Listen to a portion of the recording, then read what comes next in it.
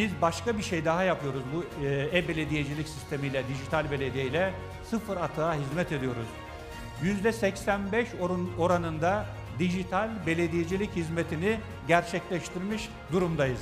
Yani 2019 yılında Gebze Belediyesi'nin kapısından içeriye o X-ray cihazlarından günlük 450-500 kişi giriş yapıyordu. Bugün günlük 50-60 kişi giriyor. Neden? Çünkü vatandaşımız evinde, iş yerinde, bilgisayarının başında istediği hizmetleri alabiliyor. İş yeri ruhsatı almak istiyorsa belediyeye hiç gelmesine gerek yok. Ben sadece arkadaşlara kargoyla göndermeyin. Gelsin belediye tanısın, belediyeye olan aidiyetini tazelesin diye sadece ıslak imzalı iş yeri ruhsatını almaya geliyor. E-imar yöntemiyle mimar ofisini ofisinde projeyi çiziyor, gönderiyor, belediyeye hiç gelmiyor. Sadece ve sadece ıslak imzalı ruhsat projesini almaya geliyor, onun dışında gelmiyor.